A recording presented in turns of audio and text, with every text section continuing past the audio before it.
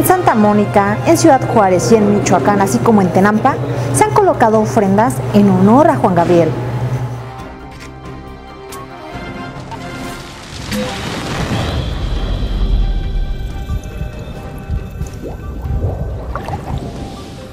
Juan Gabriel, un gran cantautor reconocido a nivel mundial, ha roto el corazón de cientos de personas en todo el mundo por su inesperada muerte. Tan solo en el restaurante Tenampa en Garibaldi se puede ver un gran moño negro y flores alrededor de una enorme pintura con el rostro del autor de infinitos éxitos como es Querida, hasta que te conocí, abrázame muy fuerte y amor eterno.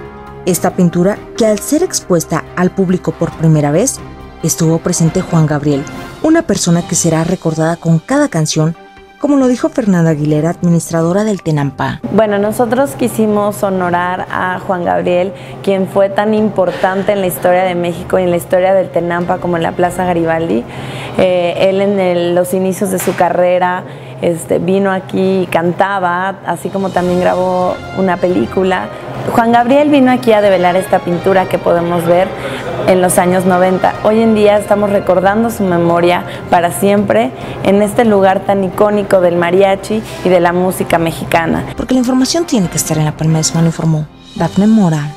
Y siguiendo con el tema de la muerte del cantante también en la plaza de Garibaldi, parece que no durmieron, toda la noche le estuvieron cantando. México espera con los brazos abiertos y con el amor eterno a Juan Gabriel y no deja de cantarle día y noche para recordarlo, lamentar su partida y sobre todo reiterar que no ha muerto, ya que sus canciones quedarán inmortalizadas por muchas generaciones.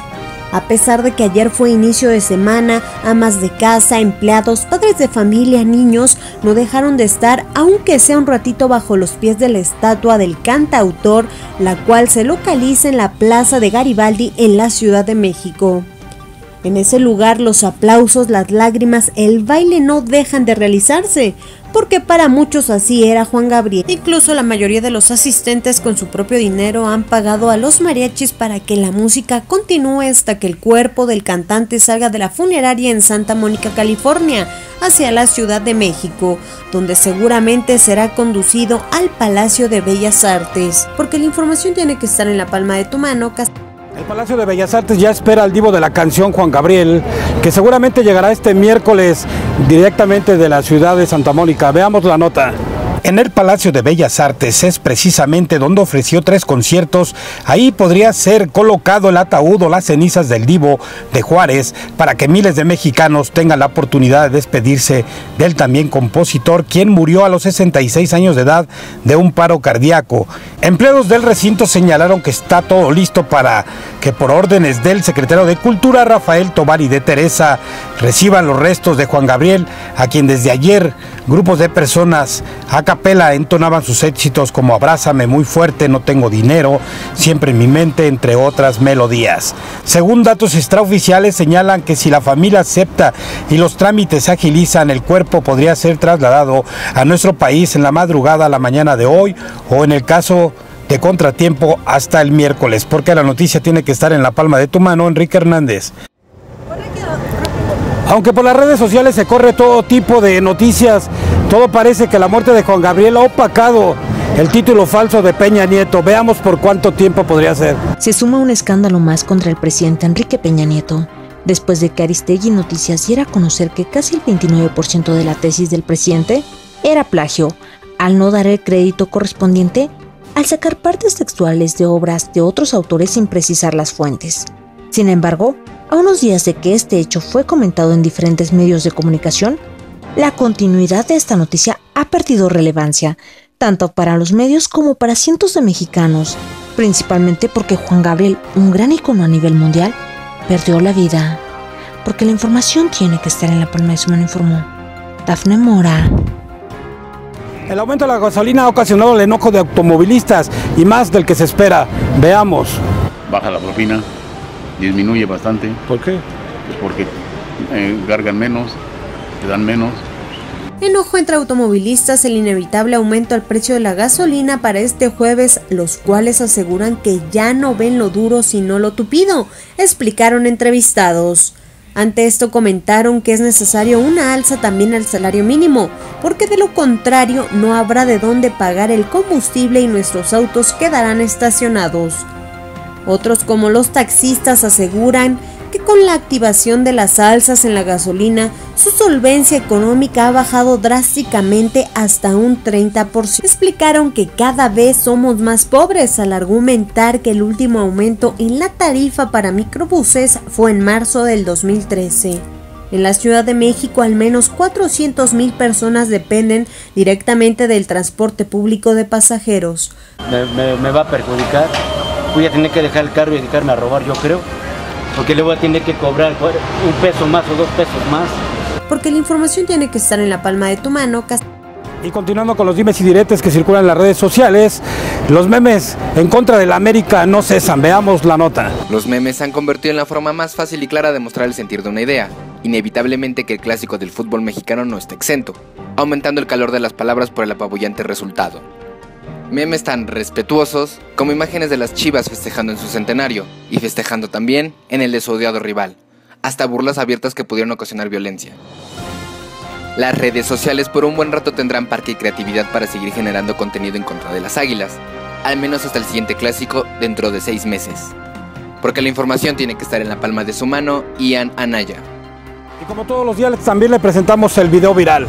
En las redes sociales podemos encontrar gran gama de sucesos, desde homicidios hasta la diferencia que puede hacer estar maquillada, como un video que en las redes sociales se ha vuelto popular, debido a que una joven coreana muestra la diferencia entre la mitad del mismo rostro maquillada y la otra sin maquillaje, demostrando los prototipos que intentan perseguir miles de mujeres, gastando mucho dinero en sus rostros, porque la información tiene que estar en la palma de su mano, Dafne Mora. Hola, ¿qué tal estimados amigos? Les habla su amigo Damián, guía espiritual, invitándolos a que todos ustedes calmen sus problemas, que no tengan dudas, a que utilicen ese poder magnífico que Dios les regaló para que tengan suerte, paz, tranquilidad. Recuerden que usted tiene un poder grande en ese cerebro, esperando que usted lo sepa explotar, para que tenga tranquilidad, para que viva mejor, para que tenga bienestar en su familia, para que consiga un buen empleo. No tenga dudas de lo que le pertenece en su vida. Llame a mi línea y tengo una cita con este verdadero guía espiritual que posee para ayudarle a todos ustedes. Porque usted tiene que estar informado en menos de un minuto, esas son las súper rápidas con Daphne Mora. La NASA informó que la misión Juno ha realizado con éxito el primero de 36 sobrevuelos orbitales a Júpiter. En Brasil, decenas de personas han salido a las calles a manifestar su apoyo a la expresidenta Dilma Rousseff.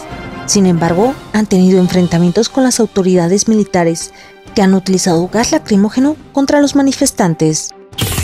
Durante una boda en Irak, cinco personas se infiltraron con el fin de inmolarse. Sin embargo, solo uno de ellos lanzó bombas caseras, disparó y logró activar su cinturón, dejando a 18 personas sin vida y 20 más heridos. Barack Obama, presidente de Estados Unidos en septiembre del año pasado, se propuso un objetivo, el cual ha logrado completar al recibir en su país a 10.000 sirios, porque la información tiene que estar en la palma de su mano, informó Dafne Mora. También en materia deportiva nos ha preparado Ian Anaya lo siguiente. Se incorporan a la selección mexicana Hugo Ayala y Elías Hernández, debido a la baja por lesión que provocaron el Tecatito Corona y Néstor Araujo. La directiva de León anunció en una conferencia de prensa el despido del técnico Luis Fernando Tena y comentaron que utilizarían esta fecha FIFA para encontrar a su reemplazo. Andy Delort podría ser jugador de Tigres en las próximas horas. Distintos medios informan que el jugador francés ya viaja a nuestro país para firmar su contrato. El compatriota de André Pierre Guignac proviene del SSK en, Francia. La novela de Joe Hart y Pep Guardiola en el Manchester City parece terminar, después de que la figura del arquero Citizen fuera descartada para la temporada por el entrenador catalán. Muchos aficionados pedían que lo dejaran emigrar a un equipo donde fuera titular. El día de ayer se anunció su préstamo al Torino de Italia, terminando con la polémica que se suscitó en Manchester. Porque la información tiene que estar en la palma de su mano, Ian Anaya. En materia policíaca, Alejandro Fernández nos ha preparado las siguientes notas. El cineasta León Sarmel, quien dirigió el efecto tequílica, de quien su karma murió en la Ciudad de México. La Procuraduría General de Justicia Capitalina confirmó que el cineasta murió después de que fuera apuñalado en ocho ocasiones durante un asalto en la colonia Merced Gómez en la delegación Álvaro Obregón. Un plomero murió electrocutado cuando un tubo que colocaba tocó los cables de alta tensión de 23.000 voltios en la azotea de un edificio ubicado en la calle Doctor Balmi 76, Colonia Doctores.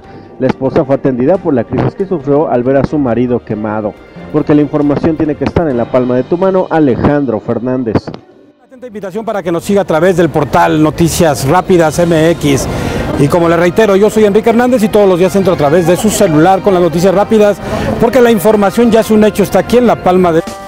Él es Juan y tiene muchas razones para viajar al extranjero. Lo que no tiene es su pasaporte y visa. Así llegó a Visas HD, donde le brindamos asesoría profesional y segura para tramitarlos. ¿Qué esperas? Tramita tu pasaporte y visa de manera cómoda, sencilla y segura, como Juan. Visas HD